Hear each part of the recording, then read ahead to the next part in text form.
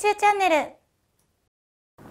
はい、年収チャンネル鴨本です。うさきですはい、新しいゲスト藤井さんお越しいただきました。よろしくお願いしよろしくおます。願いします。ご職業は何ですか？アナウンサーです。アナウンサー来ました。この回を機に女性視聴者が増えるといいなと思うんですけど、アナウンサーってどんな仕事なんですか？言葉でうん声で伝えるっていう仕事なんですけど、まあ私は基本的にニュースを読むことが今まで多かったですね。うん藤井さんどういうキャリアなんでしたっけ？大学を卒業して、うん地元の岡山の NHK で2年間キャスターをして、こっちに来てフリーでアナウンサーをしてるんですけど、はい今4年目ですね。NHK のアナウンサーっていくらもらえるのかっていうのを聞いても大丈夫なんですか？はい、大丈夫です。なるほど。どういう契約なんですか？社員とかいろいろありますよね。はい、うん。全国採用の社員さんがまずいるんですけど、うん。私は地方でそれぞれ各県で募集してる地域採用のうん。契約うん。という形のスタッフだったんですよね。この場合はだいたい2年から5年っていう契約で。うん、なるほど。本社の、えー全国採用と岡山の契約採用とはまた別っていうことではい、すね、もう全はい。然別枠です。うん、なるほど契約採用の中でもなんかいくつかあるんでしたっけ？はい、2種類あるんですけど、出演者契約っていうのがうん。私が入ってた方で、そっちの場合はもう年俸制っていう形でそれを割る10にして毎月もらうっていう形だったんですね。ともう一つがスタッフ採用っていうのは時給制になるので、うん。もう本当に働いた分だけお給料がもらえるっていう形で、うん。ちょっと月によっても違うっていうふうに聞きました。じゃあ多分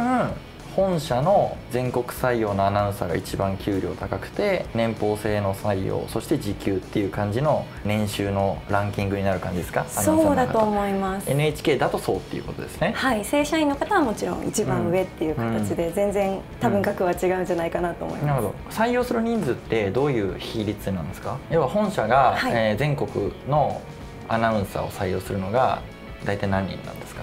大体毎年50人ぐらい取るって聞きました。50人。各地方の局で採用するアナウンサーは、まあ、1県都道府県につき、はい、えっと、キャスターの方は地域の大きさにもよるんですけど、主要な地域だとうん5人ぐらいはいると思います。都心部じゃないエリアだと、まあ、1人とか2人とかってなるんですかね。あんまりそうですね。仕事が少ない方だと、うん。その夕方の60っていう6時10分から、うん。その全国から地方に切り替わってする放送があるんですけど、そこのキャスターとかの仕事だけがこうメインになる形なので、うんうん3人4人ぐらいで回ると思います。うん。うんなるほど。なるほどアナウンサーになりたいっていう人って結構多分多いと思うんですけど、まあ、一番花形は本社の全国採用のところに採用されるのが一番花形なんですか？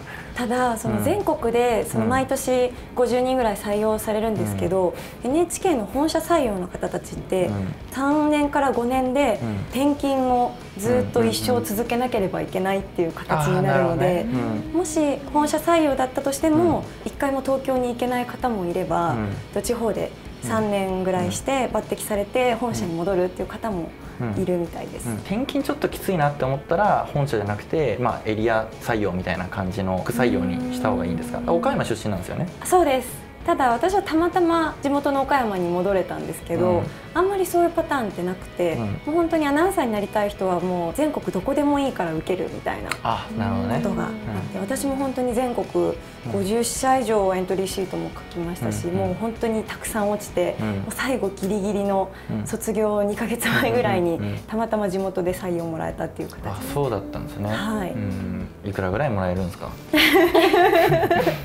まず1年目の月収がいろいろ込みで26万でした、うん。ボーナスありですか？ボーナスないです。年俸で312万ってことですよね、はい、で、うん。衣装代もその中に含まれてます。ああなるほど。とか衣装は自分で買わなきゃいけないよってこと？はい、そうです。うん。でも岡山に住んでたら家賃も安そうだし。あの私うん。実家がもう近かったので、うん。私はまだ良かったんですけど、同期のキャスターとかも家借りて、うん。そこからまた衣装を出してっていうことで、うん。なかなかカツカツそうでしたね。まあそうっすよね。さすがにさ2年目どうだったんですか？2万円上がってうん。28万でした。28万。じゃあ336万。あんま上がんないですね。上がらないですね。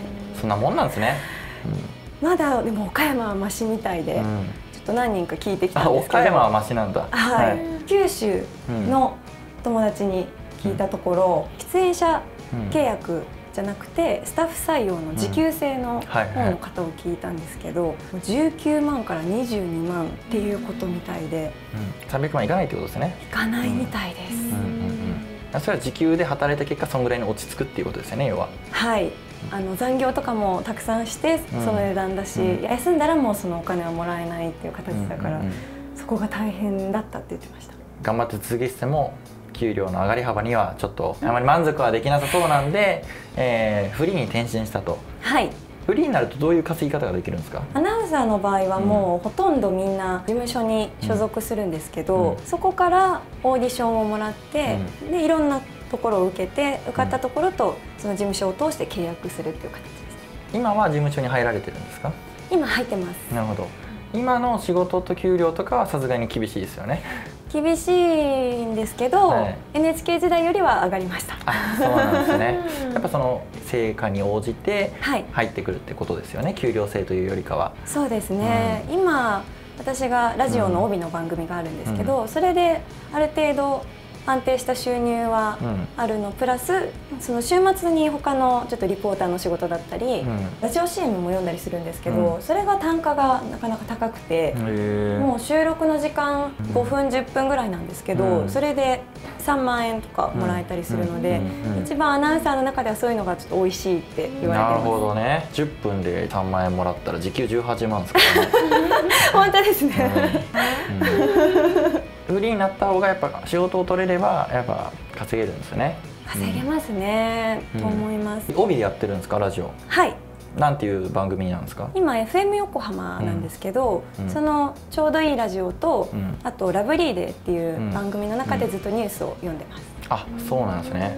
僕はラジオ向きですか？いや向いてると思うんですよね。でもなんかちょっとごもごも喋るし 絵面が悪いし声だけの方がいいかなと思いつつも。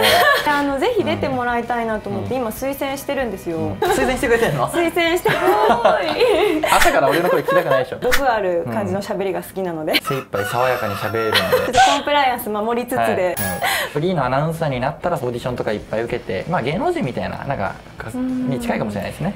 事務所によっては本当にタレントっぽい扱いする事務所もあれば、私の今いる事務所はかっちりしたアナウンサーが所属している感じで、うん、今後フリーになりたいなっていう方は、うん、できるだけそういう事前情報を調べてどういうフリーの活動をしたいのかみたいなところは、結構重視した方がいいと思います。でもやっぱ元 NHK っていうキャあの肩書きはやっぱ生きてるんじゃないですか？そうですね。いきなりフリーで活躍とかっていうよりかは一回どっかこう箔だけつけに行くのはありなのかもしれないですね。フリーになる方のほとんどは地方で何年かして、うん、でフリーになるっていう方が多いと思います、うん経験積んだ方が、うん、そのオーディションとかも全く経験なくやるよりは全然強いと思いますね、よっぽど向いてる人とかは別ですけど、アナウンサーになるために大学時代何かやった方がいいことあるんですか？はい私はアナウンススクールに2年生の時から通いました。やっぱそういう人が多いんですか？いきなりなる人というよりかは準備ちゃんとする人アナウンサー試験が結構特殊なんですよ、うん、カメラテストっていうのがあるので、うん、カメラの前に立つっていうの時点で肝が据わってる人じゃないと多分なんかどうしようどうしようってなっちゃうから、うん、そのアナウンススクールだと模擬試験みたいなしてくれて私はそれのおかげでだいぶ落ち着いて臨めました。アナウンサーになりたいって人は大学時代からカメラ慣れをしようと。はい、うん、ってことですね。そうですね、はい、じゃあどっかでアナウンサーと合コンしてください。そこですか、うん、はい。本日はこの辺でありがとうございました。ありがとうございました。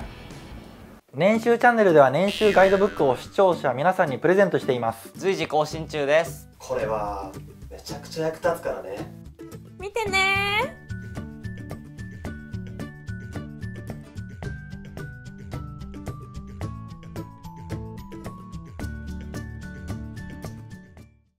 先の一言。えー、よくこのチャンネルであの何喋ってるかわからないって喋り方指摘されるのでぜひお話の仕方の指導をしていただきたいです。いやいやいつも可愛い喋りに癒されてます。あ優しい